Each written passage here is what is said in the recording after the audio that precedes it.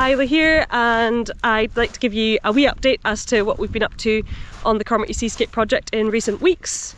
It is in the Scottish Highlands if you're not familiar with it and it focuses on native oysters and seagrass. So first and foremost, excitingly we've taken on a new member of, to the team and uh, yeah she's been a fantastic help.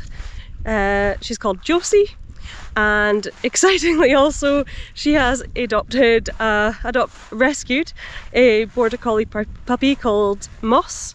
So Moss has accompanied us on one of the surveys so far which was an adorable experience. Um, but don't worry we didn't get too distracted. Hello! I'm Josie, I'm the new project officer for Mossy Earth's Cromarty Seascape project up here in Scotland. What do you like to do in your spare time? Oh, I love bird watching. You so love bird watching? It's a pretty good job. catches around us just now actually, so at the same time as doing my work, I'm looking up every so often to see what I can see. Um, love swimming as well. There's lots of rivers and lochs in Scotland to do that, so that's perfect. Yeah. Yeah. And uh, favourite and worst moment of fieldwork season with us so far? Oh, favourite is easy. Uh -huh. um, the first day we were out doing sediment sampling. We had I know what you're going to say. An amazing otter encounter. So we had two otters that were with us for almost the entire time. So it was like two hours that we were out there. Um, and they were super close, so that was amazing. And the worst?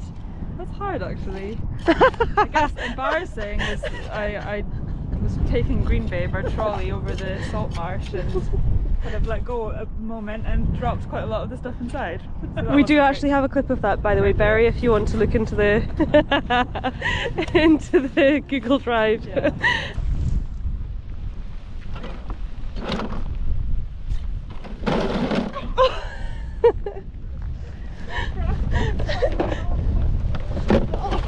oh Oh, no! Oh god! Oh god! Get, pull it up. up here. Okay. Right. Actually, How low can my spot go? You do this because you can sit. Oh yeah. I'll get these four. It doesn't look like it's really muddy in the bottom there.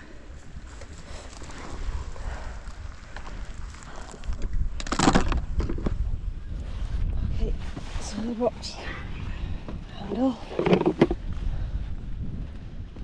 So tight. we found the limits of the.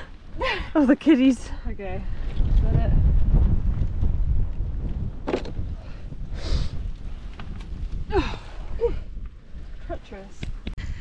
We have also been busily getting on with field work. So um, just after I spoke to you last, the Society for the Protection of Underground Networks, or SPUN, came out to the project area and they were having a wee look at uh, taking samples from seagrass roots and also sediments surrounding seagrass to see whether they could find any fungal evidence of fungal symbionts with seagrasses that might uh, inform restoration if they are to be present within the project area. So that was really exciting. Uh, we had a lot of fun and playing in the mud and uh, yeah we'll have results from that hopefully in the next few months, which I will be able to share with you. So Bethan, do you want to talk me through what you guys are doing right now? sure. so there's been quite a lot of work into the seagrass microbiome, so what, what bacteria are living in symbiosis with these seagrasses. But there's not been so much work on the mycobiome, so the fungi that live with seagrasses and we're really hoping to see what fungal symbionts are helping these seagrasses live in these sort of, I would say, more difficult nutrient conditions because fungi are really good at providing nutrients to plant partners, to their plant hosts. So we're hoping to see who's here. I'm here with Josie. Our new project officer, and we are just recording some uh, information about the seagrasses here at Charleston, which is in the Beauly Firth. So in this quadrat we actually have three different species. Uh, we've got Zostera marina, which is here, and you can see it has like nice thick leaves.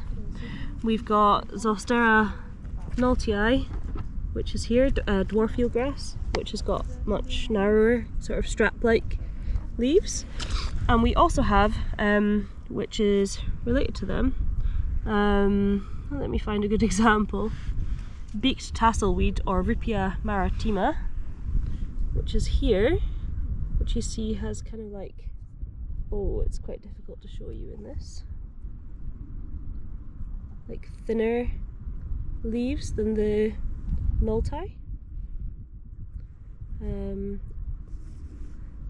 and just a slightly different structure there to who you are. I'm not sure if that's picking that up. Yeah, so we've got um, two species of classic uh, seagrasses. So that's the uh, Zostera marina and Nanozostera noltii, and then we've got a widgeon grass, uh, Ruppia maritima, which is not thought to be strictly a seagrass by um, a few, well, by botanists. Some botanists is a more of a freshwater species that is tolerant of uh, saline water. Um, but I don't know, it's existing along seagrasses here, alongside seagrasses here, so I think we're fairly happy to say that it's a seagrass too. There's a nice example of it as well. I'm here with uh, Bethan and Sean from Spun. So what are we getting up to? We're in Rosemarkie right now, aren't we? Yes, so we're going to do our first subtidal seagrass sampling from mycorrhizal fungi or fungal symbionts. And it's our first time sampling from mycorrhizal fungi in the sea, which is very exciting for us. And Sean's going to go down diving. I am, and it's going to be interesting because we've been doing intertidal sampling, and this is our first subtidal sample. And obviously, in an intertidal environment, you know the plants are exposed to more variable temperatures and salinity uh, and conditions. You know, half the day in the air and half in the water. So this is permanently submerged plants, and we're really excited to see what we find. Awesome. So quick! Yeah. I'm going to get a little bit of water. Yeah, yeah. All good. So Looks good. Yeah. awesome. I can stash that in the bag. I might hang here for a bit. Yeah, yeah, do it. Yeah, it's actually easier to have something holding off the board because there's a bit of drift. Oh, okay. Um, so So these are way bigger than the other ones, so I didn't make foil big enough, but yeah, it's definitely a, like a different enough ecotype, aren't they? Yeah, they're so big. crazy. So it's plenty of material to work with. Yeah, okay. Uh, in addition to that, we have been looking into the sediments in the project area. So the sediment sampling is now complete, and so we've been out, uh, Josie, um, Emily, and I. So Emily is our geotechnical consultant, uh, having a taken some samples from various locations within the project area. Uh, we tried to overlap these with some of the uh, mycorrhizal sampling locations, um, and yeah, it'll be really interesting to see the results from that.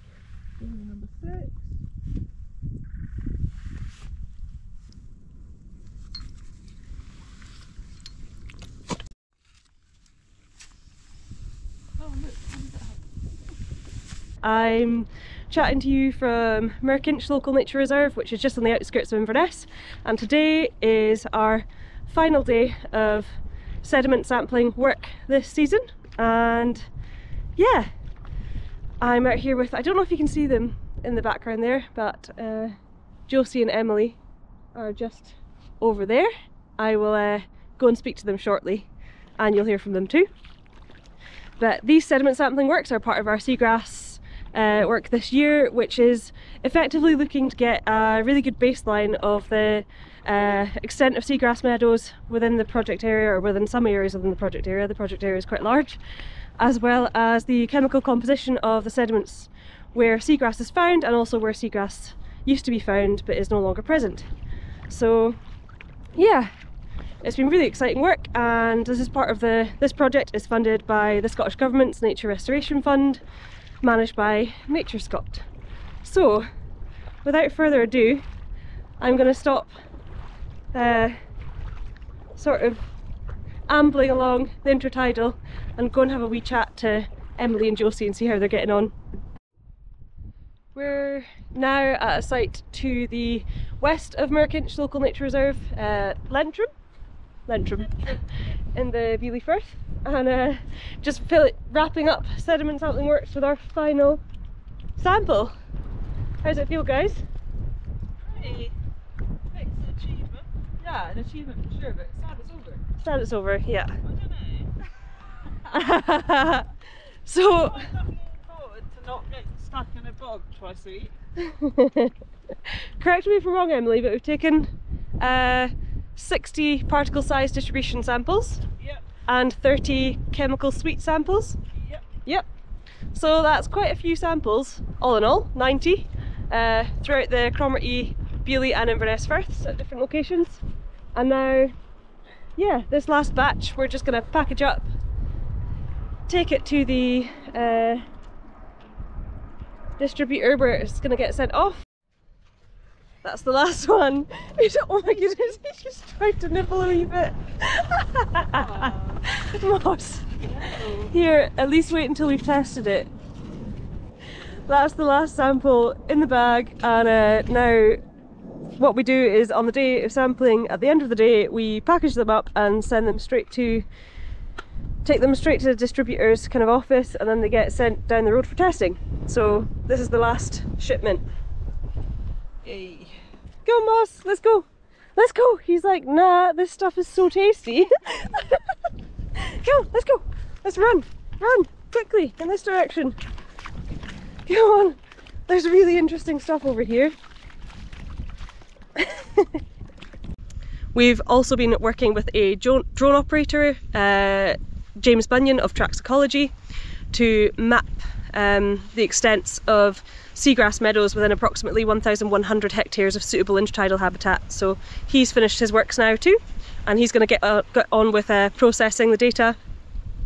And we are going to see whether we can use machine learning to map the extents of the seagrass meadows rather than drawing on polygons by eye, which is what a lot of um, folk have been doing. Um, so hopefully that machine learning process can work for us here. So yeah, we're using the DJI M350 airframe, um, which has got a twin battery, um, which is great for redundancy, and also we've got about flight time about 35 minutes if we're lucky.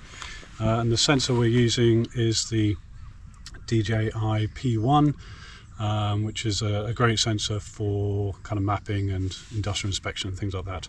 Um, so it's a 45 megapixel um, sensor, and yeah, just provides very very good imagery. And we're collecting raw imagery as well as JPEGs, so we can try and get the images as, as best as we can through a bit of post processing to pull out the, the seagrass that we're looking for.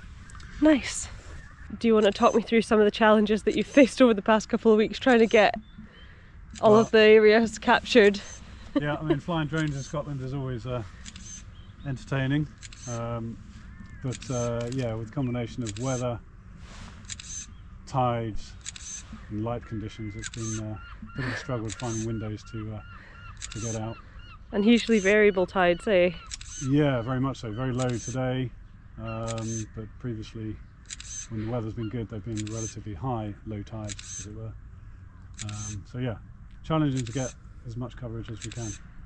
If only the seagrass stayed alive for longer throughout the year, eh? Yeah, yeah. Although the weather gets worse into winter, so Yeah, we have, well, I think last time I spoke to you about the native oyster nursery, I mentioned that we had one final uh, sort of permission to get before the nursery was able to go in.